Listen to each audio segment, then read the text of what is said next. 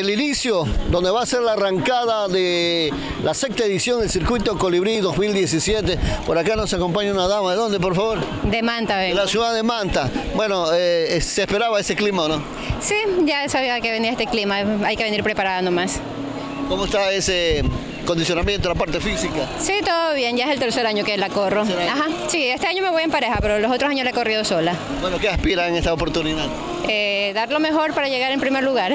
Bueno, eh, conociendo que hay algunos tramos también que demandan de mucho esfuerzo en la parte física, el terreno no está bien, nos decía por acá los, los coordinadores que un, un tramo, la bajada de quebrada onda, eh, hay que tener mucho cuidado. Sí, mucho cuidado en esa bajada porque igual es resbaloso y cuando está seco es polvoso, pero cuando está mojado sí es resbaloso y todo.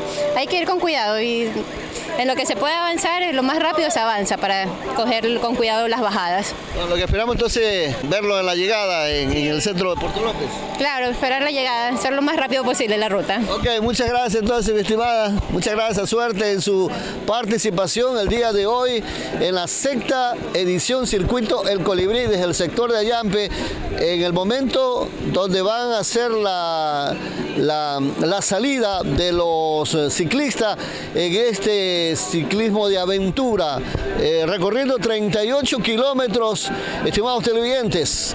Nos preparamos nosotros también para eh, seguir la incidencia de este recorrido desde Ayampe hasta Quebrada Honda, Guale y llegar eh, eh, la ruta, este nuevo, nuevo tramo que es eh, la ruta La Esperanza en los Platanales, ruta que se ha incorporado en este año para finalmente salir al centro de lo que es Puerto López, donde nos esperan el lugar de llegada.